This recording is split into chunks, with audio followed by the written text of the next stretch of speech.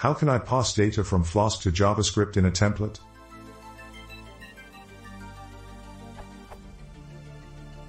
My app makes a call to an API that returns a dictionary.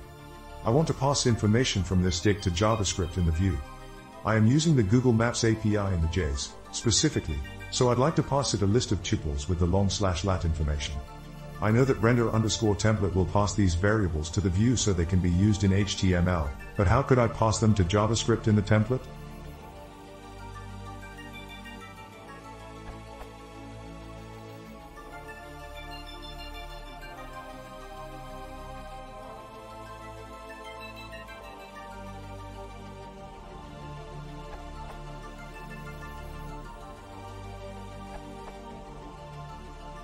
You can use variable anywhere in your template, not just in the HTML part. So this should work.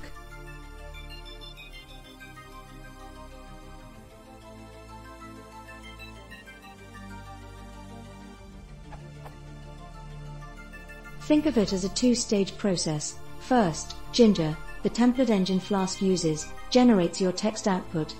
This gets sent to the user who executes the JavaScript he sees.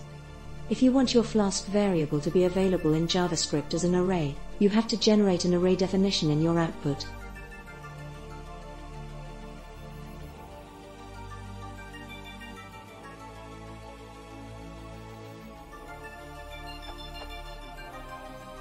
Jinja also offers more advanced constructs from Python, so you can shorten it too.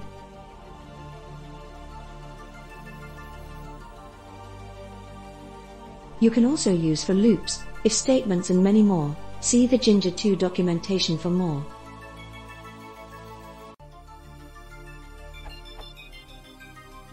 Also, have a look at Ford's answer who points out the tojson filter which is an addition to Jinja2's standard set of filters.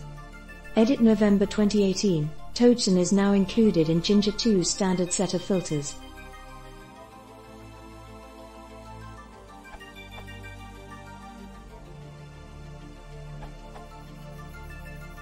The ideal way to go about getting pretty much any Python object into a JavaScript object is to use JSON. JSON is great as a format for transfer between systems, but sometimes we forget that it stands for JavaScript Object Notation.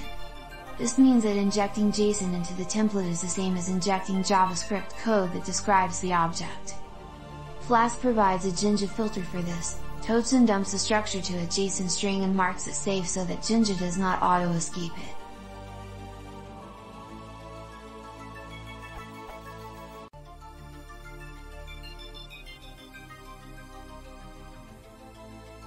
This works for any Python structure that is JSON serializable.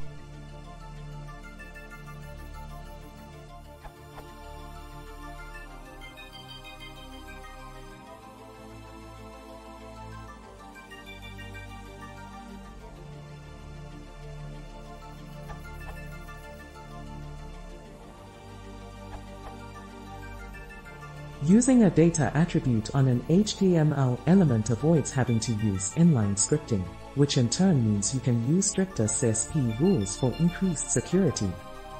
Specify a data attribute like so.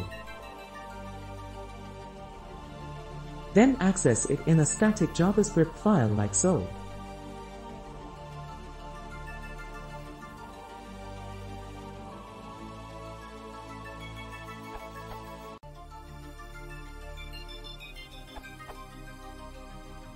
Alternatively you could add an endpoint to return your variable. Then do an XHR to retrieve it.